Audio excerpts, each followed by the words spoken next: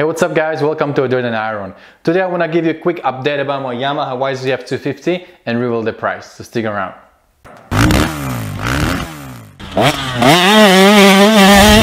Today is Tuesday evening, exactly three days since I posted the video about my YZF 250 and I asked you guys what do you think how much I paid for the bike.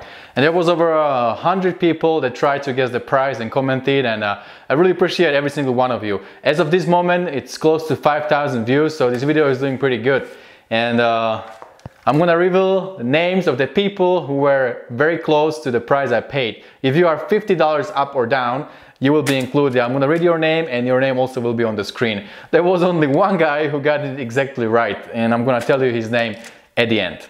All right, so uh, Matt, $800. Peter Bartovic, $900. Ben Hamilton, $900. KTM Suzuki, $800.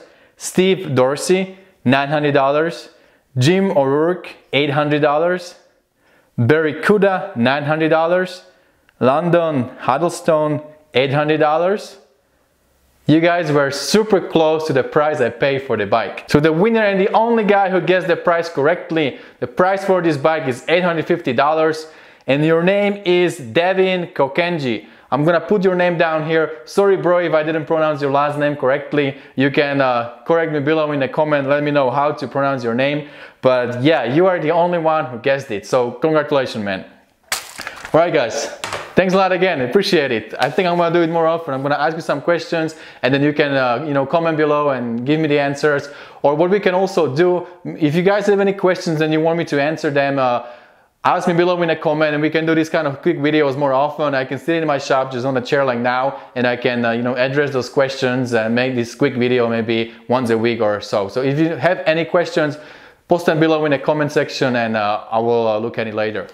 All right, so uh, I didn't do anything on my bike yet. Uh, before I uh, go and work on it on the carburetor and, and try to uh, you know uh, tune it and do everything, I wanted to get new parts. So most important guys, uh, if you get new dirt bike, and especially when the air filter doesn't look very good, uh, spend $15 and get brand new air filter.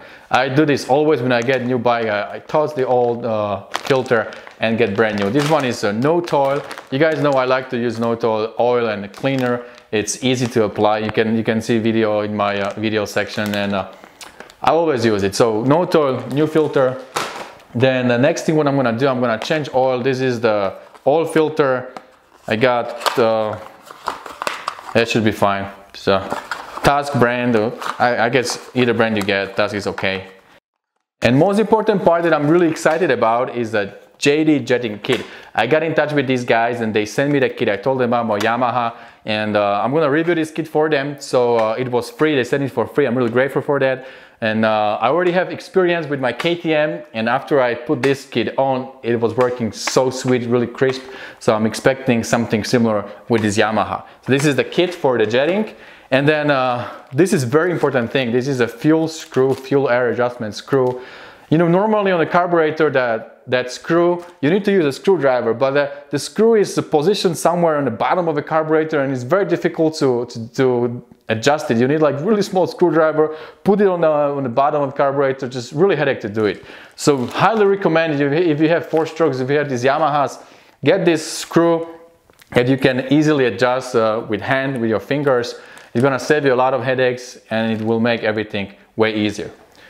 Alright, so that's, uh, that's about it. After I install new filter, I take out the carburetor, clean it, make sure I don't have any uh, uh, leak uh, in my, you know, on the booth, uh, make sure that everything is sealed nicely.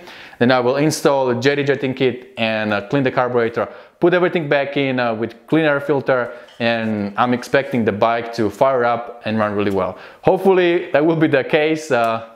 well, probably this week or sometime next week I'll have time to work on it and then I will definitely share a video with you guys. That's about it for this video.